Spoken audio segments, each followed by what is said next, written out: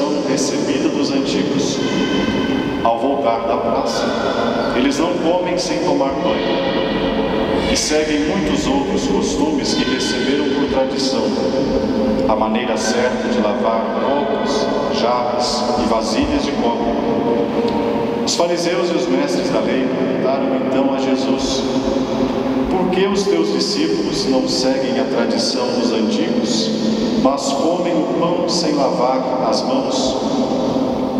Jesus respondeu: Bem profetizou Isaías a vosso respeito, hipócritas, como está escrito: Este povo me honra com os lábios, mas seu coração está longe de mim. De nada adianta o culto que me prestam, pois as doutrinas que ensinam são preceitos humanos.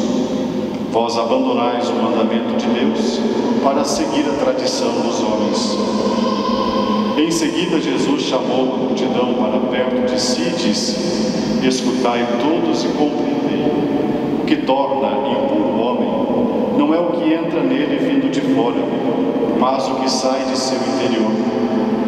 Pois é de dentro do coração humano que saem as más intenções, isto é, imoralidades, roubos, assassínios, adultérios, ambições desmedidas, maldades, fraudes, devassidão, inveja, calúnia, orgulho, falta de juízo.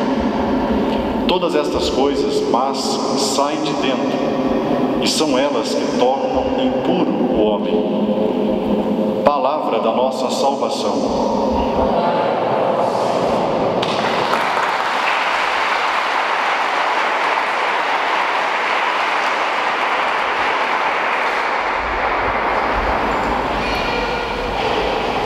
A palavra servida para nós hoje, tirada do livro do Deuteronômio, depois nós meditávamos, Senhor, que morará em vossa casa e no vosso monte santo habitará. Depois uma carta, um trecho da carta de São Tiago e agora o Evangelho de São Marcos. Esse Evangelho os discípulos que têm probleminha com os fariseus e os mestres da lei do tempo deles, porque os fariseus e os mestres da lei, eles tinham muitos rituais e eles eram rígidos no cumprimento desses rituais, tanto que Marcos hoje começa o texto dizendo que eles vieram questionar os discípulos de Jesus, porque eles não lavavam as mãos quando chegavam em casa, quando comiam, enfim. Então está em discussão aqui a necessidade de lavarmos as mãos, principalmente quando a gente anda de metrô, de ônibus, enfim. Não está em questão uma questão de asepsia aqui, mas uma questão ritual que eles têm é, na base da fé, a importância de cumprir fielmente os rituais. E parece que os discípulos de Jesus, ao contrário, eles não estão muito preocupados seguir à risca aqueles rituais judaicos, que até hoje, dependendo, são muito importantes, extremamente ainda importantes para a religião judaica. A questão da pureza para eles ainda é muito importante. Jesus mostra que o que torna uma pessoa impura não é aquilo que a pessoa toca, onde a pessoa encosta. Que torna pessoa fala, com quem ela conversa. Tem gente que acha que se conversar com a pessoa que ela julga uma pecadora, ela vai ser também contaminada. E Jesus já mostrou. Inclusive, Jesus fala no final do texto de hoje que o que torna uma pessoa impura não é aquilo que está fora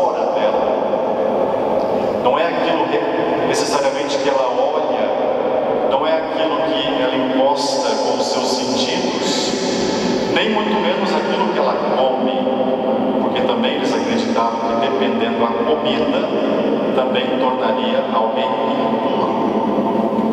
Os evangelhos têm várias situações de pessoas que são consideradas impuras. Vocês lembram daquela mulher que tinha um fluxo de sangue, uma hemorragia? Ela tinha que andar afastada de todo mundo, porque ninguém podia encostar nela, porque quem encostasse nela também ficaria impuro. Jesus hoje diz que o que torna uma pessoa impura, ou pura, a gente poderia também dizer, é aquilo que está dentro do coração dessa pessoa. Porque aquilo que está dentro do coração realmente ou geralmente vem para fora. Se você pensa coisas boas, se você cultiva dentro de você coisas boas, bons pensamentos, hoje em dia se fala até boas energias, né? isso vem para fora também, isso transparece. Sem falar que se você deseja o bem para as outras pessoas, o bem também há de vir para você.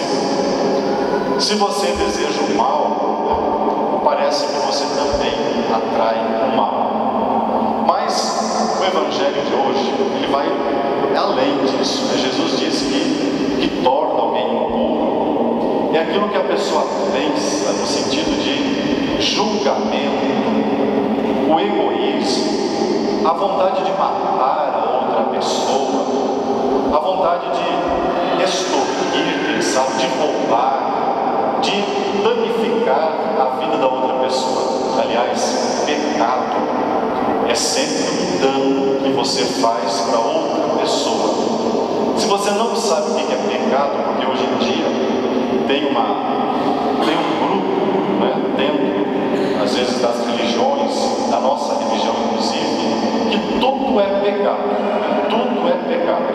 Então, sei lá, elas quase não conseguem nem dar um passo para frente porque ela já acha que está fazendo pecado. Isso é um extremo, quase é, precisa tratamento.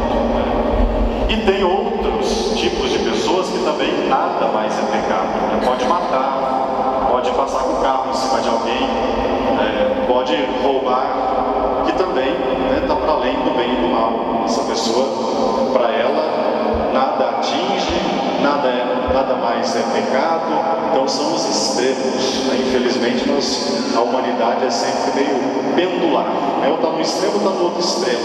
Parece que a gente nunca consegue um meio termo, um equilíbrio. Então, se você tiver dúvida o que é pecado, faça um exame de consciência e pergunte: aquilo que você vai fazer vai criar algum dano para você?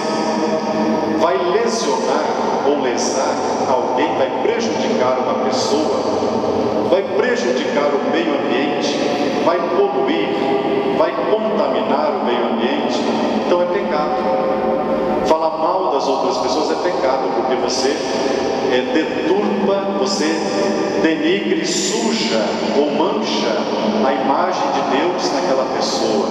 Então, quando tiver dúvida, será que é pecado? Né? Para não ficar em extremos, tudo é pecado, nada é pecado. Pergunte-se: vai criar algum mal?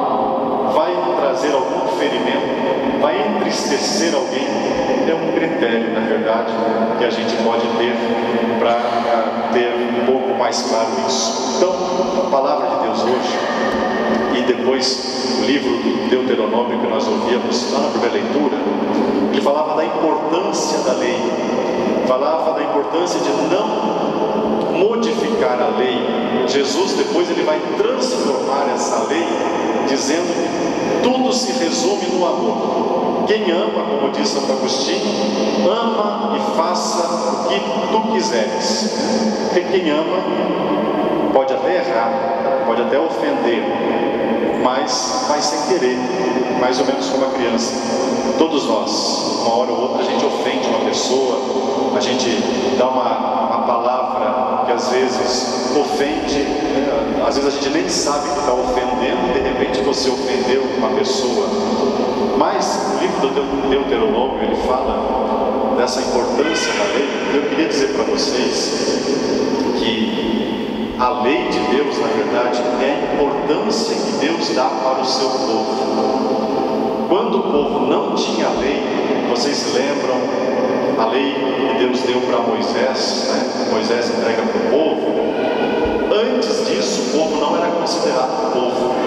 O povo não tinha identidade de povo de Deus. Quando eles tomaram a lei de Deus, eles começaram, desculpa, eles começaram a se entender como gente, se entender como povo. É mais ou menos o que acontece nas nossas famílias no meio das nossas relações,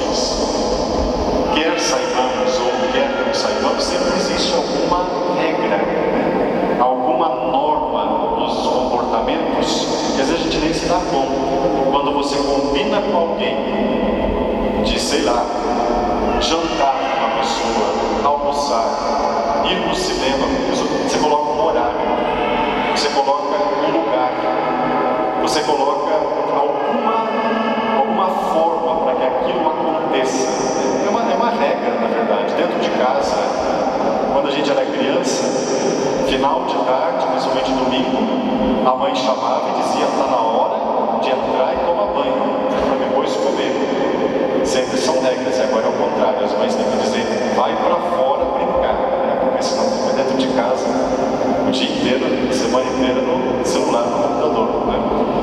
Eu estou dizendo que sempre existe alguma regra. E a nossa vida, na verdade, ela acontece porque nós sabemos nos organizar. Se a gente não souber se organizar, nós não, não vamos achar tempo, nem para encontrar as pessoas, nem para estudar, nem para trabalhar. Então a vida acontece a partir dessa lei que nós também vamos instaurando na nossa vida. E Deus, antes de mais nada, deu a lei para que o povo vivesse. E Jesus vai dizer: Eu quero que vocês vivam e tenham a vida em plenitude, diz Jesus Cristo. A lei, então, foi a garantia de que o povo não se matasse. Se vocês olharem os dez mandamentos, façam isso como uma tarefa em casa, avaliem os dez mandamentos. Sete deles, pelo menos, falam dos relacionamentos humanos, da importância de não tirar o que é do outro, de não cobiçar o que é do outro, de não falar da vida alheia, de não, uh, não furtar, não matar, honrar as pessoas que são especiais, e os outros três é relacionado a Deus. Sete, pelo menos, falam da nossa relação humana, para ver como que Deus quer que a nossa vida aconteça da melhor forma. Deus se preocupa conosco. Se a sua mãe, se o seu pai nunca pediu nada de você, se o seu namorado nunca pediu nada de você, nunca disse, olha, precisamos fazer isso, precisamos fazer aquela outra coisa, pode ser que ele tenha te dado uma liberdade demais, e pode ser que essa pessoa nunca teve, nunca esteve interessada em você. Porque se você não se interessar por alguém, você também nunca vai pedir alguma coisa dessa pessoa, você nunca vai exigir nada dela. Não é exigência a palavra adequada, mas eu não estou achando uma outra que talvez possa preencher. Mas vocês entendem o que eu quero dizer. A lei de Deus é o interesse de Deus por todos nós. Então, meus irmãos e irmãs, vamos lembrar da frase de Santo Agostinho mais uma vez: ama e faça o que queres. E Jesus diz: tudo se resume na lei do amor a Deus, no amor ao próximo. Que assim seja.